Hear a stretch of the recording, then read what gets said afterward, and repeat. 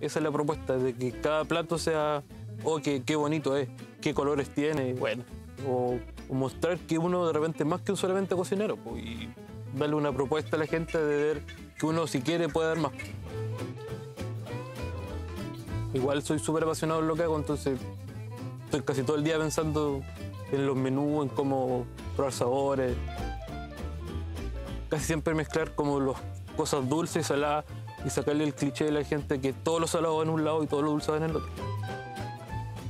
La croqueta hoy día era como pescar un clásico que es carne mechada y hacerlo en un solo bocado y que la idea es que cuando tú comas, toda la concentración de la carne se te dispare en la. Esa es la idea de la croqueta de carne.